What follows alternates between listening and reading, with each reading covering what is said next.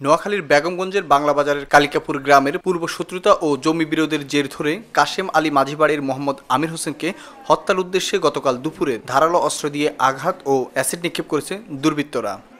এই ঘটনায় বেগমগঞ্জ থানায় একটি অভিযোগ দায়ের করেছে হামলার শিকার হওয়া মোহাম্মদ আমির হোসেন।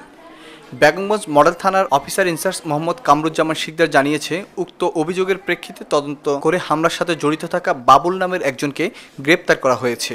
অন্য আসামিদের গ্রেপ্তার করার জন্য অভিযান চালানো হচ্ছে। এদিকে হামলার শিকার হয়ে গুরুতর আহত হওয়া মোহাম্মদ আমির হোসেনকে উন্নত চিকিৎসার জন্য নোয়াখালী দুশো পঞ্চাশ শয্যা জেনারেল হাসপাতালে চিকিৎসা দেওয়া হচ্ছে।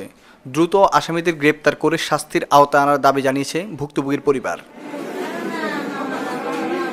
আরিফিন শাকিলের তথ্য ও ভিডিও চিত্রে ডেস্ক রিপোর্ট, নোয়াখালী টিভি।